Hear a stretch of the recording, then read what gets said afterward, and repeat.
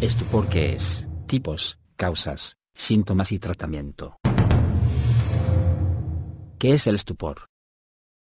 Es posible que en más de conversación hayamos oído o incluso utilizado el término estupor para hacer referencia a un estado de sorpresa que nos impide reaccionar. Se trata de un uso popular y válido de esta palabra, pero también existe un significado o acepción médica. En este sentido, se le da el nombre de estupor a una condición o alteración del estado de la conciencia de una persona, en la que se produce una marcada disminución de esta. Síntomas. El estupor es un estado de pérdida o déficit de la conciencia en la que el sujeto permanece en estado semi-inconsciente y no reacciona a la estimulación ambiental. Resulta prácticamente imposible sacarle de dicho estado salvo que se aplique una estimulación muy intensa y potente, algo que logrará incrementar levemente y de forma temporal la alerta. Algunos de los estímulos que pueden llegar a alterar su estado son por ejemplo gritos o estimulación dolorosa.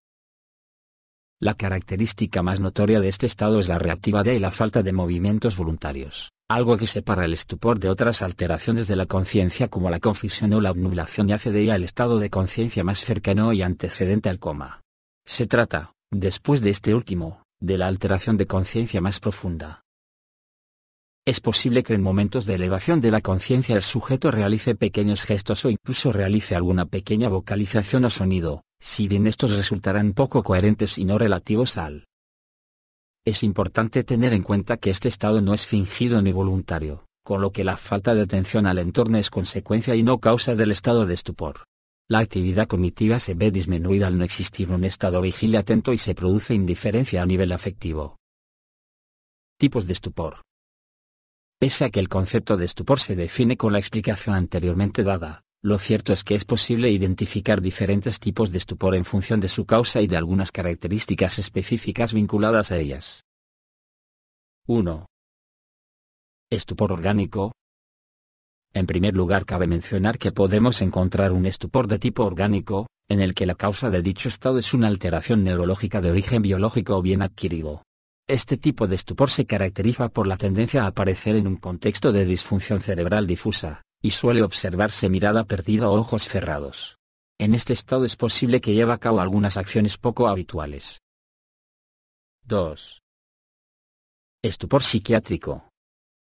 Otro de los principales tipos de estupor es el psiquiátrico, derivado de algún tipo de psicopatología. Dentro de él podemos preencontrar principalmente el estupor catatónico, el melancólico, depresivo y el disociativo. 2.1 Estupor catatónico. Se trata de un tipo de estupor que aparece en pacientes con esquizofrenia de tipo catatónico. En este caso suele aparecer flexibilidad seria o mantenimiento de la postura en que el sujeto se ha colocado, con hipertonía muscular. También puede observarse mutismo, conductas de oposición u obediencia automática. 2.2 Estupor melancólico. Un subtipo de estupor que aparece en cuadros depresivos, con más frecuencia en los casos en los que la depresión es endógena. En este caso el sujeto no responde a estímulos debido a una inhibición total de la conducta y el habla, y al contrario que en otros tipos de mutismo es posible que exista una expresión corporal que denota tristeza pese a que la emoción también se encuentra totalmente inhibida. 2.3 Estupor disociativo suele vincularse a la experimentación de algún evento estresante o traumático, el cual provoca una disociación en la psique de quien lo experimenta. Hay inmovilidad, pero si se coloca al sujeto en una posición forzada vuelve a la posición original. No hay resistencia ni rigidez muscular. Causas de la aparición.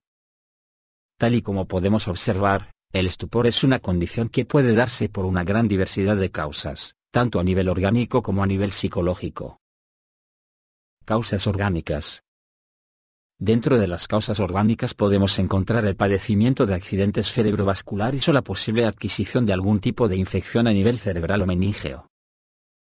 Las áreas afectadas pueden ser múltiples y existir un daño neuronal difuso, pero también es posible que existan daños a nivel del sistema de activación reticular o parte del cerebro que se encarga del mantenimiento de la vigilia y que se encuentra en el tronco del encéfalo o de áreas como la supratentorial.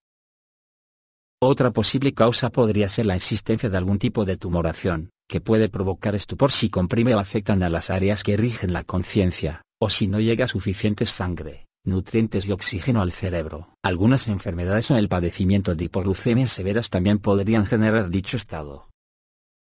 También puede producirse ante intoxicaciones alimentarias, por consumo de sustancias entre ellas el alcohol o farmacológicas. Asimismo es posible que una persona alcance un estado de estupor tras haber padecido algún tipo de traumatismo cráneoencefálico. En estos casos el estupor es debido a daños, lesiones o alteraciones en el funcionamiento de las neuronas. Alteración psiquiátrica. En lo que respecta al estupor de tipo psiquiátrico, este aparece como manifestación o síntoma de diferentes patologías. Algunas de las más habituales son la esquizofrenia concretamente en el antiguo subtipo catatónico o incluso en casos de depresión melancólica. Las causas de estos trastornos no son por lo general conocidas, si bien existen diferentes hipótesis referentes a cada uno de dichos trastornos. Por ejemplo, la presencia de eventos aversivos y traumáticos suele ser desencadenante de los del tipo disociativo. Tratamiento del estupor. La existencia de algún tipo de estupor es una condición a tener en cuenta debido a la ausencia de respuesta y capacidad para actuar y mantener un funcionamiento normativo. Para ello es necesario acudir rápidamente a urgencias en caso de que ocurra especialmente si ocurre de manera brusca y repentina. Por lo general en primer lugar resulta imprescindible asegurar las constantes vitales y la estabilidad biológica, así como monitorizar su estado. Hay que tener en cuenta que el estupor puede ser un síntoma de una patología orgánica o incluso de un accidente cerebrovascular o traumatismo cráneoencefálico, lo que podría llevar a padecer graves secuelas, discapacidad o incluso la muerte en caso de no tratarse. Del mismo modo una intoxicación también debería tratarse diferencialmente. Posteriormente y tras analizar las causas se aplicará el tratamiento que corresponda en cada caso, según sus causas. Espero que hayas disfrutado de este video. Recuerda darle like si te ha servido y compártelo con tus amigos y conocidos, suscríbete a mi canal para recibir alertas cada vez que publique un nuevo video. Muchas gracias por tu visita hasta pronto.